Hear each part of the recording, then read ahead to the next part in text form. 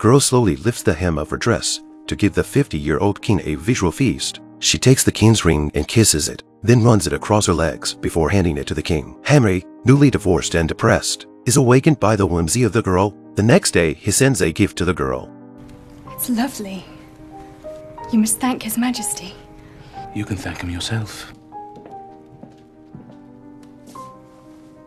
Henry visits the girl's room at night just to make out with her, and the girl slowly walks over to him and undresses to thank the king for the gift. At the tender age of 18, Catherine Howard became the new love of Henry VIII. Henry insisted on marrying young Catherine as his fifth queen, even though Catherine was Anne Boleyn's cousin. Henry didn't care. To keep his young wife happy, Henry gave her expensive jewelry and lavish gifts every day, and it's clear that he's pampering her. I come here this day to introduce to you my new wife, Queen Catherine. It seems incredible to have obtained such a perfect jewel of womanhood, who bears towards me such perfect love, desired fruits of such a marriage. to Queen Catherine. Henry's favor has given Catherine a great honor. Catherine, of course, is very understanding and performs a variety of shows every night to keep the king's heart in her hands. And Henry, under the seduction of his beautiful wife, has left his two previous queens behind. It is my intention to settle upon her all lands and manors which formerly belonged to Jane Seymour. Within a month, Henry had given Catherine a room full of treasures, but it's not just material things that he favors Catherine with. He also acknowledges her presence to his children. He introduced Catherine to his most precious son, Edward. This is my new queen, Catherine. Say hello to her. Hello, Your Majesty. Oh, he's such a sweet boy. The lovely Edward is a sweetheart and gets along well with his stepmother, and then his youngest daughter, Princess Elizabeth. Your Majesty, I am honored to be presented to you and wish you every joy and happiness. Catherine was delighted by Elizabeth's courtesy. She immediately took off her necklace and gave it to the princess. Elizabeth thanked her and left. Henry, on the other hand, stared at his daughter's back for a moment. I wonder if he was thinking of Elizabeth's mother. Catherine thought she was a queen and an honorable woman, but she doesn't get any respect from Princess Mary. Her 18-year-old stepmother tried to dominate her stepdaughter, who was four years older than her. My dearest wish that you and I may be kind and loving and warm to each other. After all, Lady Mary, you are now my stepdaughter.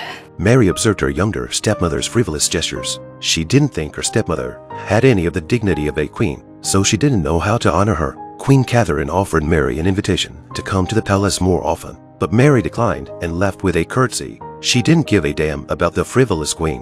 When it came time for the Christmas festivities, Catherine once again approached Mary with great enthusiasm, but Mary only smiled a little and then thanked the king for her gifts, which made Catherine roll her eyes. However, Henry, who is in a joyful mood, does not realize Catherine's displeasure at the moment. To emphasize his kindness, Henry invited his ex-wife, Anne of Cleves, to the palace for Christmas. Anne's elegance is respected by all. Even the fussy Princess Mary appreciated her. Catherine welcomed Anne with a smile as a gesture of goodwill, and then asked her to share her experience as a stepmother, and said that both princesses were sensible, smart, and beautiful. The princesses also respected her, so she had a very good relationship with them. Catherine could only laugh in embarrassment. The next morning, Catherine went to Mary in a rage and asked her why she didn't treat her as the Queen of England with the same respect that she had shown to the former Queen Anne. But Mary responded by saying that Catherine was no match for Lady Anne.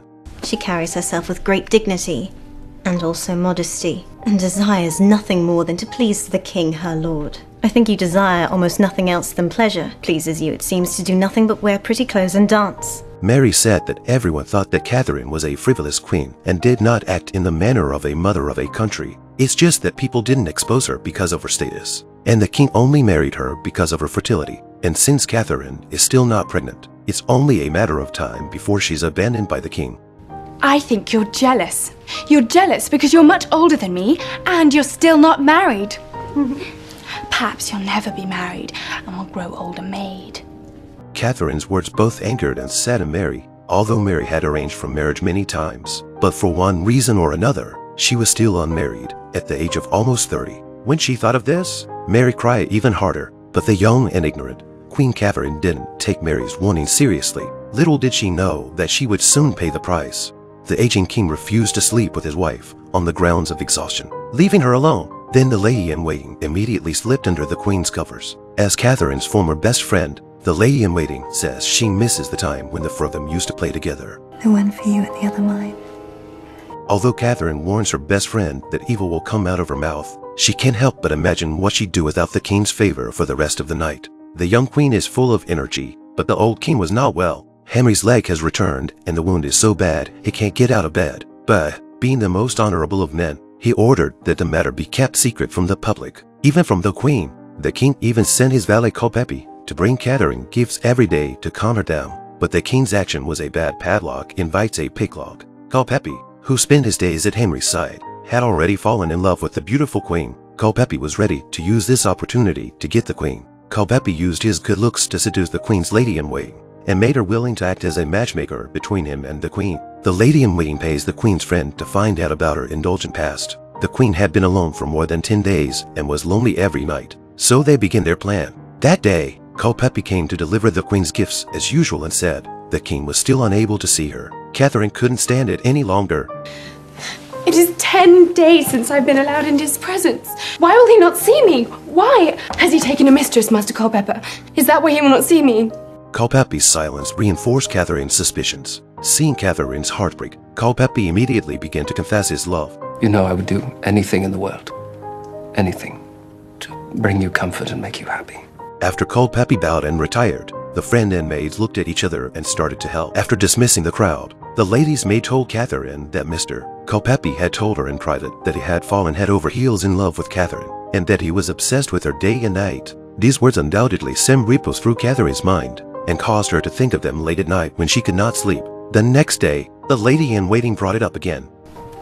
Just like that other one. Coming to you at night. A secret.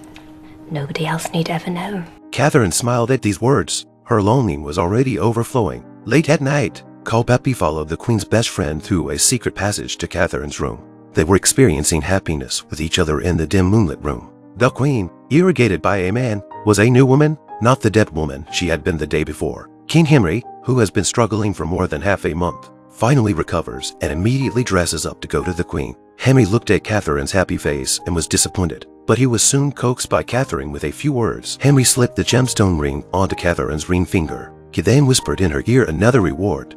But tonight I'll visit your bedchamber, and nothing would please me more than for you to conceive my child. Although Henry was over 50, he wanted another son. Catherine felt the pressure. If she didn't give birth to a son, would she end up like her predecessors? But no sooner had the worry passed through her mind than Catherine was eyeballing Culpeper again. On the other hand, Henry suddenly finds his ex-wife Anne, and this kind, dignified and caring woman seems to fill Henry's need for warmth at this moment. It seems that this mature woman is more capable of soothing Henry's soul than the pampered little wife. May I come to your bed tonight? What Henry didn't know was that his doting wife felt the same need for companionship at night as it did. I want to see him again. As you wish. I only urge your majesty to be careful when you... What? Lady Rochford? Don't you think I know how to meddle with a man without conceiving a child?